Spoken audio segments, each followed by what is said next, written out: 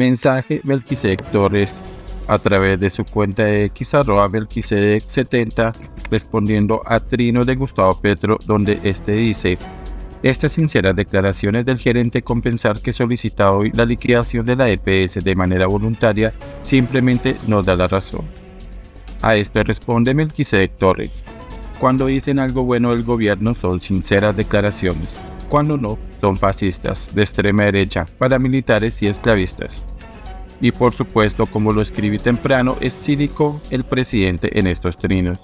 Desde julio de 2023 las EPS, incluyendo compensar, lanzaron SOS al gobierno. En lugar de resolver la crisis, Petro siguió atacándolas. Insistió en su errática reforma a la salud y les bajó aún más los recursos. El señor de compensar no se atreve a cuestionar al gobierno pues también tiene en juego la caja de compensación y temen que la intervengan. Seguramente Petro lo hará, mucho más si detecta que le tienen miedo.